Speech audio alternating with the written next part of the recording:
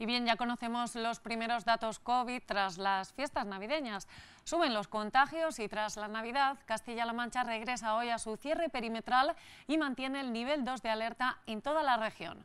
Hay 49 municipios ya con medidas especiales de nivel 3, dos de ellos son capitales de provincia, Albacete y Ciudad Real. Y con los últimos datos, la provincia de Albacete suma nuevos municipios en nivel 3, como Ontur, Caudete o Chinchilla, además de Balazote, La Roda, Casas Ibáñez o Tarazona de la Mancha. Hoy los desplazamientos son bastante más reducidos, primero por la situación de nieve y porque el cierre perimetral se añade a circunstancias como la suspensión de las clases.